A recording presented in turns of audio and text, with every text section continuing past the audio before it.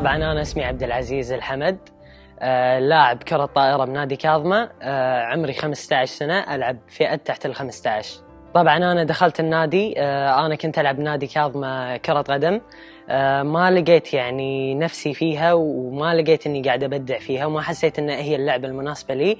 آه قعدت بالبيت تقريبا بعد كرة القدم تقريبا ثلاثة أشهر آه كان يكلمني الوالد انه تواصل ويا مدربين كرة طائرة.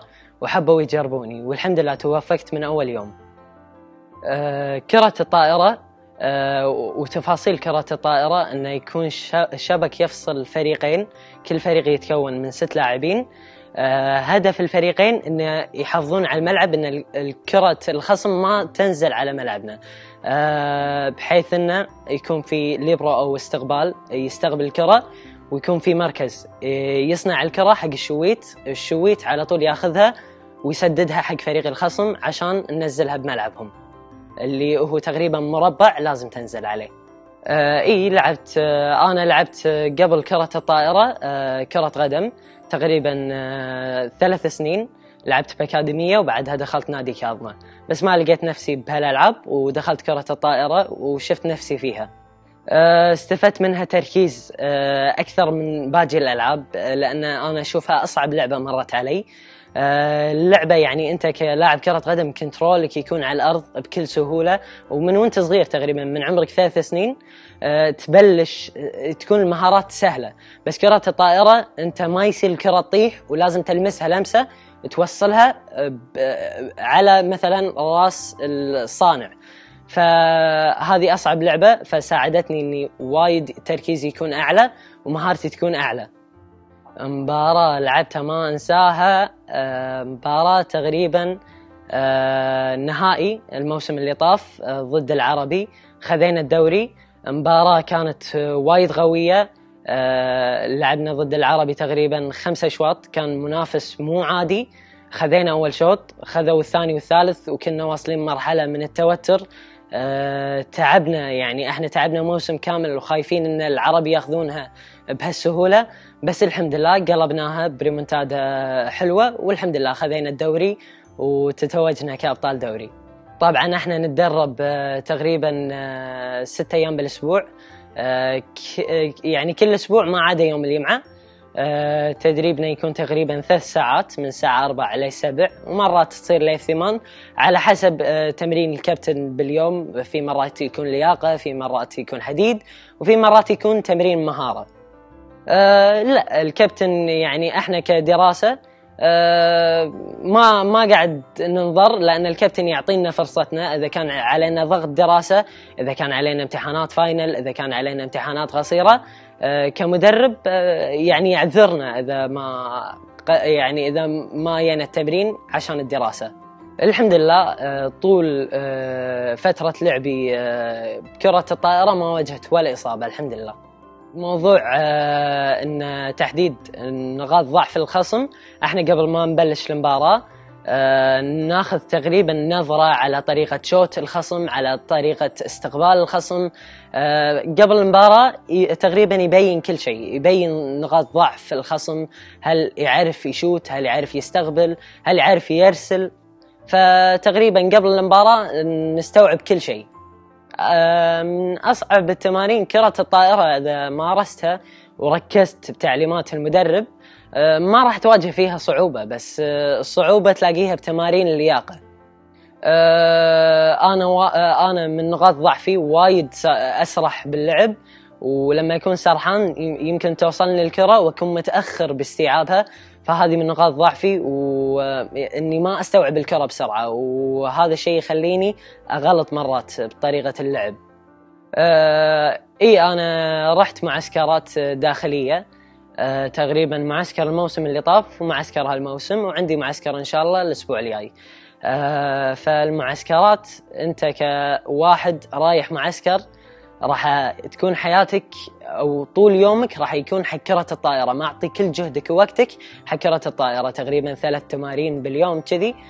بس لما أكون أنا جاي تمرين أنا عادي بعد التمرين أروح أطلع. يعني مو كل حياتي بكرة الطائرة. عادي أروح أطلع أقوم اليوم اللي بعده الصبح أروح المدرسة. فكمعسكر يكون أفضل لأن أنا مثلا أسبوعين مخلي كل وقتي حق كره الطائرة. وهذه الشيء هذا الشيء يزيد مهارتي كلاعب طائرة يعني. الحمد لله كدعم من مدربين لاقين الحمد لله. إحنا كنادي كاظمة عندنا من أحسن المدربين من الجنسية التونسية والجنسية المصرية. وأنا أشوف هذه الجنسيتين العربيتين من أحسن الجناسي في تدريب لعبة كرة الطائرة خصوصا. آه، فمو مقصرين ويانا كمهارة وككل شيء. آه، عندهم القدرة الكافية أن يدربونا على أكمل وجه وك يعني أكبر دليل مراكزنا. إحنا دائما المركز الأول وأبطال الدوري. أنا من أكبر مشجعيني آه، أبوي. أبوي هو اللي يابني حق لعبة كرة الطائرة. آه، كان الولي آه، الولي الأمر الوحيد اللي يمكن كان يحضر التمارين آه، أبوي الوحيد اللي كان بالتمارين. آه، زائد آه، كل ما أفكر أني أغيب هو يشجعني يقول لي لا عزيز طاح مستواك مثلا اليوم باكر تقدر ترجع أحسن. آه، وهو اللي كان واقف وياي وهو اللي يشجعني إني أي تمرين.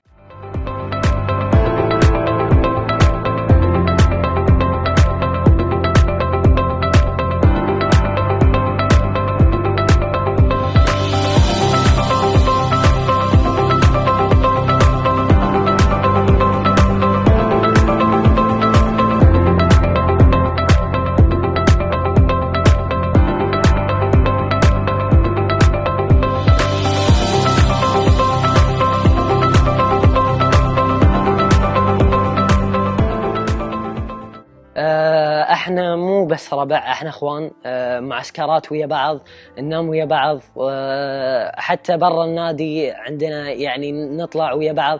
فأنا يعني كربع نادي أنا ما أشوفهم بس ربع أنا أشوفهم أخوان. أنا عندي آه، اللاعبين اللي جدا متفاهم وياهم داخل الملعب. عندي بندر الأحمد ومحمد دوخي من اللاعبين اللي يصلحون أغلاطي بالملعب حتى لما أنا مركزي رفاع. يعني أصنع الكرات. فلما أصنعها غلط هم يساعدوني بتصليح الكرة وهذا الشيء يقلل من أغلاطي مرة بمرة. وهذيل من اللاعبين اللي جدا متفاهم وياهم بالملعب. آه، طموحي إني أكون لاعب منتخب أمثل الكويت وأعتقد هذا طموح أي لاعب في إنه يعني يلعب بأي لعبة انه يصير لاعب منتخب ويمثل الكويت. وإن شاء الله آه، بعد آه، إن شاء الله درجه اولى أتمنى إني أحترف. آه، لأن ما أشوف إن في احتراف بالكويت. آه، صراحة ما عندي مثل أعلى بكرة الطائرة.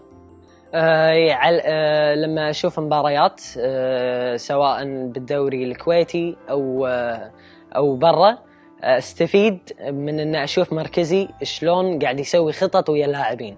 فأنا من هالخطط أقدر أبني خطط ويا ربعي ونسوي يعني اتفاق اتفاق بعيدا عن المدرب نتفق على مثلا أرفع آه، أرفع له بمكان معين. فيكون بيننا اتفاق وهذا كله من نظرتي بالتلفزيون إنه شلون آه، لاعب مركزي يتفاهم ويا اللاعبين.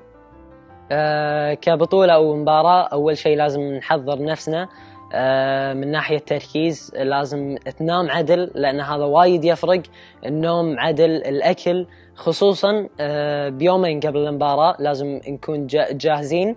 ولازم قبل ما أدخل الملعب ما يكون في يعني يكون بدون توتر. ندخل آه، حالها حال أي مباراة عادية حتى لو يعني نعتبرها مباراة ودية أو بين ربع بس انك ذهنيا لازم ندخل آه، مو خايفين من الموضوع متمكنين.